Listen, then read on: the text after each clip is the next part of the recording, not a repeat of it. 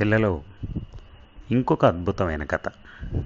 ఏంటంటే ఇంతకుముందు ఒకసారి రాజులకి ఎలా ఉండేదంటే కొన్ని అభిరుచులు ఉండేవి కొన్ని ఇష్టాలు ఉండేవి ఆ ఇష్టాలని లేకపోతే ఆ నమ్మకాలని ఆ అభిరుచులని ఇలాగా ఆయనకి అలా ఉన్నాయి అని తెలిసిన ప్రతిలో ప్రజలలో చాలామంది అలాగే బయట ఊర్లో బయట విదేశాల నుంచి వచ్చిన వాళ్ళు వేరే రాజ్యాల నుంచి వచ్చిన వాళ్ళు ఇలాంటి వాళ్ళందరూ ఏం చేసేవాళ్ళు అంటే ఆయన యొక్క ఆ నమ్మకాలని వాటిని ఆసరా చేసుకుని అంతో ఎంతో నమ్మ డబ్బులు సంపాదించుకునేవాళ్ళు ఆయన దగ్గర. ఆయన్ని ఆకాశానికి ఎత్తో ఇంకోటో రకంగా. అలాగే ఈ కథలో రాజుగారి ఒక నమ్మకాన్ని ఆసరా చేసుకుని కొంతమంది డబ్బులు అలా తీసుకెళ్తూ ఉండటం బహుమతులు తీసుకెళ్ళటం చూసి మంత్రి దీనికి ఎక్కడో బ్రేక్ వేయాలని చెప్పని దీనికి ఎక్కడో అడ్డు వేయాలని చెప్పని ఆ పిచ్చి నుంచి రాజుగారిని బయటపడేయడానికి చేసినటువంటి ఒక ప్రక్రియ. ఇక కథలోకి వెళ్దాం. కథ పేరు పుట్టుమచ్చ.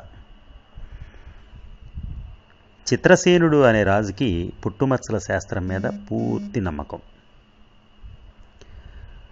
రాజుగారి ఈ బలహీనతను పసిగట్టి అందులో అరాకొరా ప్రవేశం గల వారందరూ కూడా ఆయన వద్దకొచ్చి ఏవో నాలుగు మాటలు చెప్పి డబ్బు పుచ్చుకుని వెళ్ళిపోతుండేవాళ్ళు ఆయన మంత్రి సువర్ణుడికి ఈ పరిస్థితి చాలా బాధ కలిగించేది. రాజుగారిని ఈ పిచ్చి నుంచి ఎలా విముక్తుడిని చేయాలా అని ఆలోచిస్తూ తగిన అవకాశం కోసం ఎదురు చూడసాగాడు.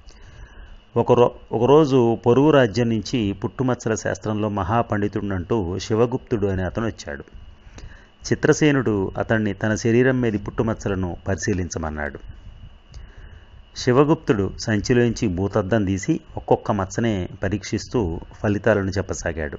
చివరికి మణికట్టు మీద పుట్టుమచ్చను చూసి ఏమి మచ్చ ప్రభు అది కంది గింజంతా ఉండగాబట్టి ఉంది కాబట్టి తమరు మహారాజులు అయ్యారు కానీ అదే చింతగింజ పరిమాణంలో ఉంటే తమరు చక్రవర్తులు అయ్యేవారు అన్నాడు. మంత్రికి మంచి ఐడియా వచ్చింది. మంత్రి మౌనంగా పక్కనే ఉన్న కాపలి కాపలా ఉన్న భటుడిని పిలిచి దగ్గరికి రాగానే వాడి కుడి చేతిని చూపించమన్నాడు. వాడి మణికట్టు మీద చింతకంచ పరిమాణంలో పుట్టుమచ్చ ఉంది.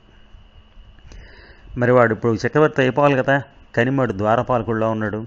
అది చూసి శివగుప్తుడి మొహం పాలిపోయింది. ఆనాటితో రాజు చిత్రసేనుడికి పుట్టుమచ్చల పిచ్చి వదిలిపోయింది.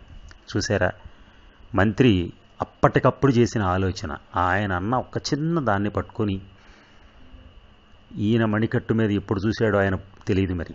దాన్ని బట్టి పట్టుకొని ఆ టైంని వినియోగించుకున్నాడు. అంటే అదే సమయస్ఫూర్తి చాతుర్యత. ఆ టైంకి ఆలోచించడం కరెక్ట్గా మైండ్ పనిచేయటం కావాల్సినప్పుడు మైండ్ పనిచేయటం ఇలాంటివన్నీ అనమాట ఇవన్నీ కూడా మన జీవితంలో మనం అలవర్చుకోవాలి. టైం రెస్పాండ్ అవ్వాలి. మైండ్ రెస్పాండ్ అవ్వాలి తొందరగా. లేకపోతే మనం సమస్యల నుంచి బయటపడలేము సో అలాగ ఆలోచన విధానం కూడా ఉండాలి. చాతుర్యత ఉండాలి. టైంకి మనం మాట్లాడగలగాలి కరెక్ట్ పాయింట్ మాట్లాడగలగాలి ఇలాంటివన్నీ. ఈ విద్యలన్నీ మనం ప్రాక్టీస్ చేస్తూ ఉన్నప్పుడు వస్తూ ఉంటాయి. అందుకోసమని వీటిల్లో మనం ముందుకు రావాలి. అర్థమైందమ్మా? ఈ సీరియల్స్ కనుక మీకు నచ్చినట్లయితే మా ఛానల్ని సబ్స్క్రైబ్ చేయండి.